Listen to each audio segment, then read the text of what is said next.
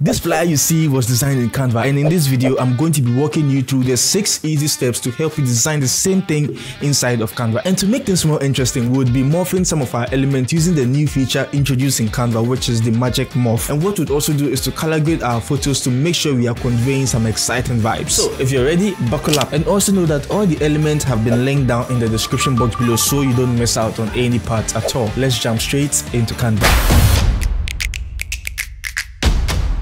So the first step is to create the background and this is what we are going to do. Make sure you are in Canva and the dimension we are using is 1080 by 1080. Come into the colors and change the color to 191919. Okay, after you do that, make sure you're heading into elements and elements search for mesh. Okay, and once you do that, there are so many options that would pop up. Make sure you're clicking on see all under photos and choose any of the photos that suit your vibe. Okay, so I'll make this one big and what I'll do is to come into transparency and reduce reduce the transparency to 16 or you can go lower if you want. After you do that, the next thing we are going to do is to add some light element and you should find this if you have downloaded the element in the description box below. So to do this, I'll just go into my uploads and I'll scroll all the way down. Here we have it. I will just make it bigger, okay, and just position it here. Come into edit photo and we are going to be changing the color with the duotone effect. So choose duotone and you can simply choose either the mustard or amber or any of the options you like depending on the color you want to use okay? So in my case i want to go with the orange vibe okay? So i'll choose this. Make sure it's bright come to shadow and make sure we are choosing the same color okay? So we'll do that and here we are. We have changed the color. I'll make it bigger and duplicate it using ctrl d and move it also here.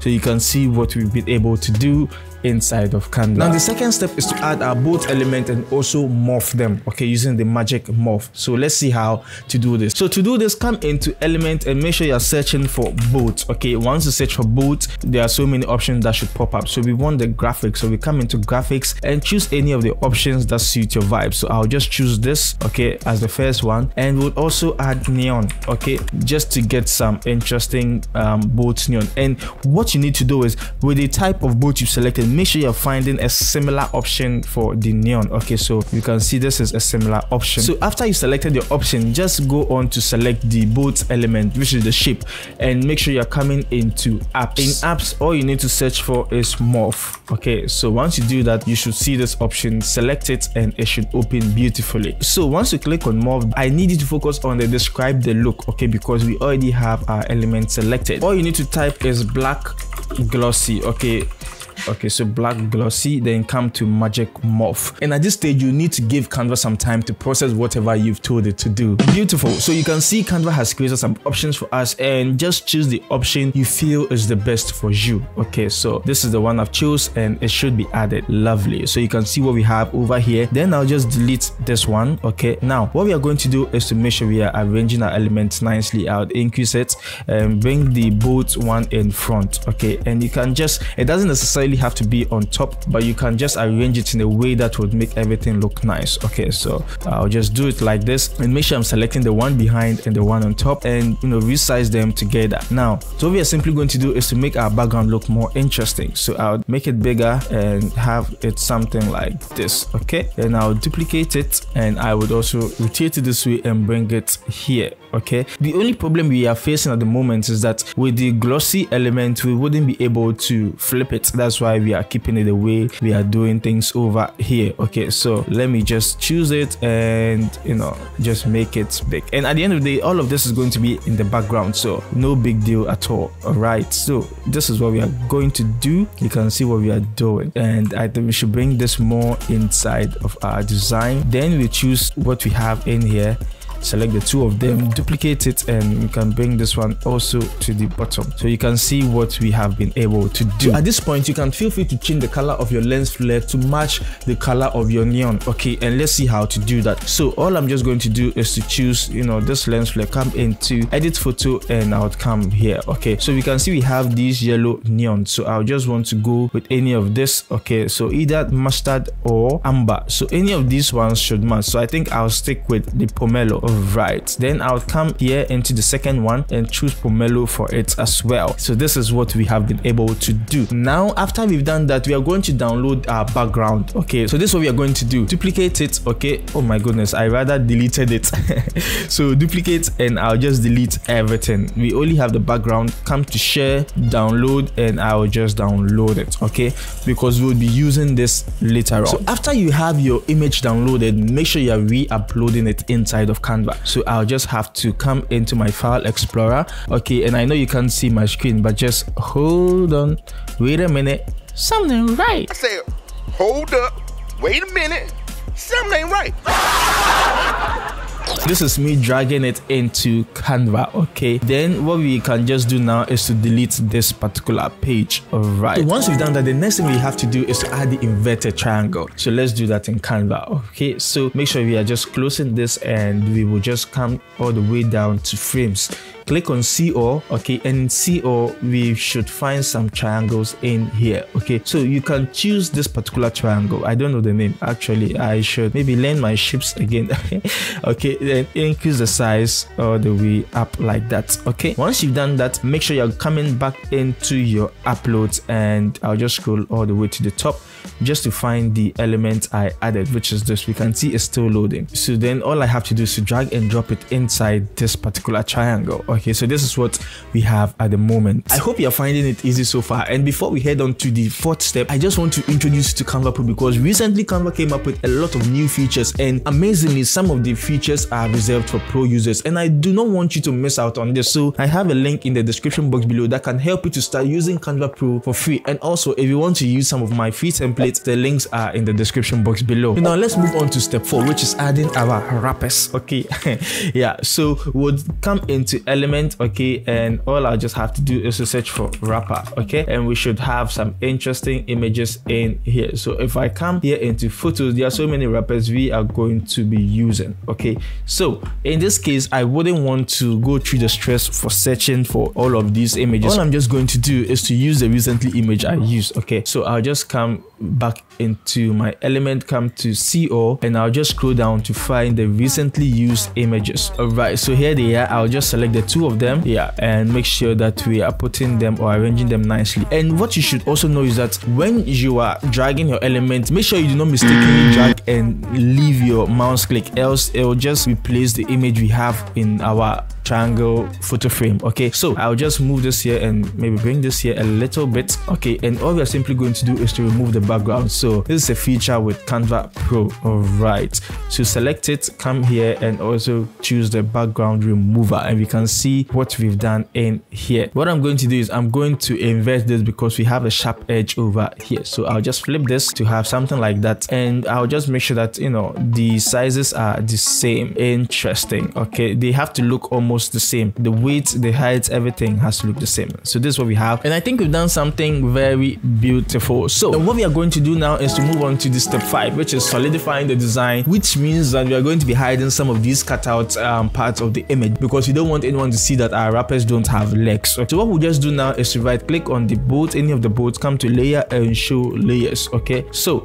in this case, we'll select any of these boats and duplicate them, which brings them to the top. Okay. And we'll increase the size. So you can see what we are doing and I would just want to rotate it a little bit like this so that it's in line or it's parallel to this triangle. All right so the next thing we are going to do is to select any of the boats on the right part of our design okay? So we'll just do that again. So right click come to layer and show layers okay? So that's what we are going to do and I'll just select any of them and duplicate them using control D okay? Then I'll make this one bigger bring it down over here and I'll rotate it so it's in line with this okay? So we can see what we have in here okay? That's beautiful lovely. And you can see some of the cutout parts are still showing. Don't worry all you can just do to click on the image. Oh my god okay relax relax relax and and drag it up. But we wouldn't want to do that. All we're simply going to do is add the image we downloaded earlier. So come into your upload select it. Okay and you can just place it here. Rotate it to it matches with the boat okay so that the angle is almost the same or the rotation is almost the same and send it to the back. Okay so behind the boat okay then you can duplicate it and bring it here as well.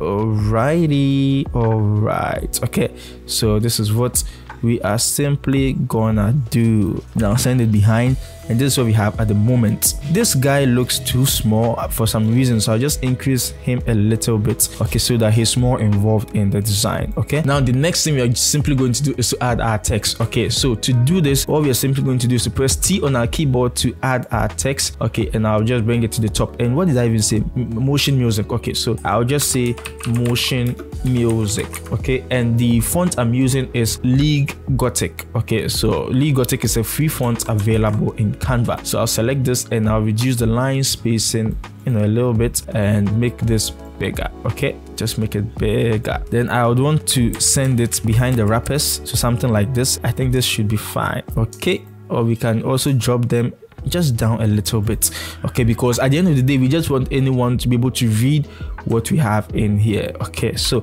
duplicate the text make sure you are placing it right on top of the original text come to effect and in effect make sure you are choosing neon okay? Then change the color to yellow all right so once you've done that select it and send it behind okay? So you can send it behind using the layer. So you can right click come to layer show layers okay?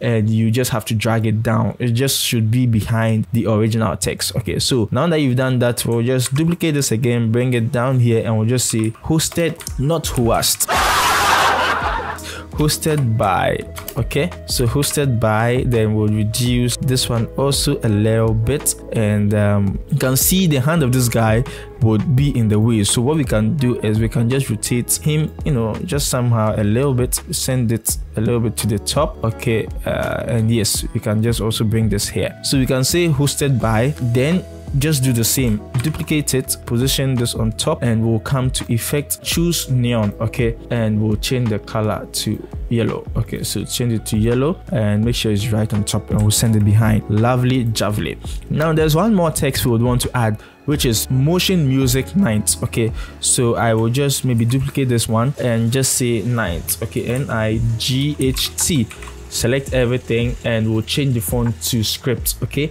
I'm going to use the shadow script. All right, now make everything big and and just say night. So once you've done that, bring it down a little bit. Okay, night, reduce the size and I'll put it here. And over here, you can see we just made it um, neon. Okay, so we just add the same effect. So come to effect, come to neon just to give it some vibes. Okay, now we'll select this and bring it down over here. Okay and you can put anyone's name in there. So if you are the one hosting the event you can just use your name. Okay so let me just even first of all make sure this is centered. Okay centered. Okay so we are simply going to add our name here. So i can just say Muse Muse B. Okay, so let's say that's the organizer of the show, right? So, and I'll make this bigger because this is more important than the hosted by. So, we want to make sure we are reducing the size of this. Okay, so reduce it and bring this one down here. All right so we are almost done. What we are simply going to do next is to add the names of our rappers okay so, so first of all we'll just add any of the text. Okay so i'll select this and maybe just say maybe dj vibes. Okay so v-i-b-e-z and would increase no decrease the size not increase the size and position it somewhere here. Okay and I can just duplicate it and bring it in here. And this one can be DJ Lipsy. Okay libz all right so now that we've done that what we are simply going to do is to press r on our keyboard bring it here okay just to add some shape in here. Then we'll change the color to um 191919 the same color we used for the background when we began okay? So reduce it okay and make sure that the padding around is making sense. I think that's the best way i can describe it. All right then come into element and make sure you're choosing neon. Just search for neon okay and we should find some interesting graphics in here. So you can choose any of them and i'll position this here okay? So it looks like this neon is much more like a square neon okay? So if you want you can just make sure you're finding some okay this one is better. So we can just delete this and put this one rather here and reduce the size okay? So reduce the size and make sure you are selecting the shape behind okay? And just arrange it. Make sure everything's looking very nice. All right then with this neon change the color just to match. Okay we are making sure everything is matching okay so select it select it. All right okay so make it white instead. Yeah. Then we are going to duplicate everything. So if you want to select any element you have behind what you need to do is to press ctrl press and hold ctrl while you click. It would make sure it's selecting the element behind. All right so just to see this in action what we are simply going to do is if i want to select the shape behind i'll press and hold control click on my text click again okay and click again. So you can see it's selecting what's behind which means that i'm clicking the wrong place so i'll just come and do it over here okay? Then now that i have it selected press and hold shift and select the neon okay? And use control d to duplicate. So you can see what we have in here. Bring it here and send it to the back using the control and the square bracket the opening square bracket. So you can see what we have at the moment. Now moving on to the last step which is color grading our photos to make sure it's matching the vibe. This is what we are simply going to do. Have your image selected come into edit photo and come into adjust okay? So we are going to be dependent on the temperature and the tint. So you can see that our image looks yellowish. Okay so i will just move it to the yellow um, place and if I want to tint it a little bit I can just do this making sure the vibe is vibing okay? And we'll do the same for this one as well just to make sure everything is looking very interesting. Okay so increase it to 52 and I'll move this one also over here. So you can see what we have. I want them to match so I'll increase the size and bring it here and maybe just drop this guy down a little bit. Interesting. So i hope you learned something new in this tutorial. If you did all i need you to do is like this video and also to watch this video you see on your screen. You will actually learn more about canva. Don't forget there's no limit to creativity and i should see you in my next video